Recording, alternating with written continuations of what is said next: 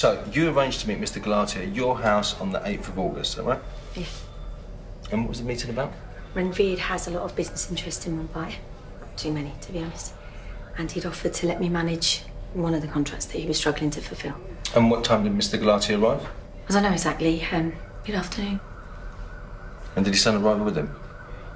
No, he came later. Maybe half an hour before his father left. And when was that? Um, I'm not sure, about 7.30, maybe 8. It's a long meeting. We had a lot to talk about. I cooked. We ate together. And did anything happen in that meeting that you might find relevant? I'm sorry, I'm, I'm not sure what you mean. Well, you knew him well. Did he seem relaxed, apprehensive? He seemed relaxed, yeah? He didn't say or do anything that was out of character. No. Mrs. Panesar, it's important that you tell us anything that seemed off. Any insight that you can give us into his state of mind. He seemed fine. But then again, I'm not completely sure I'd know if he wasn't. Ranveer was always good humoured, professional, courteous that day and every day.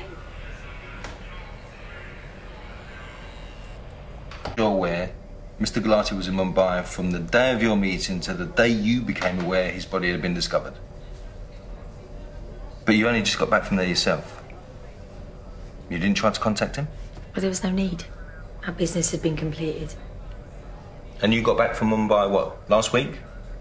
By this point, Mr. Gulati had been missing for nearly three months. No one knew he was missing. It wasn't unusual for a Ranveer to go to India for months on end. Without any contact? Well, not with me. Well, presumably in touch with someone. His wife? I don't really know. They recently got married, hadn't they?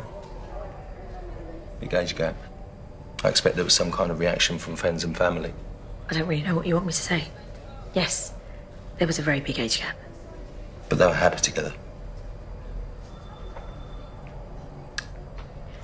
No one really knows the truth of what goes on inside a marriage, do they? As far as I could tell, Ranveer was completely devoted.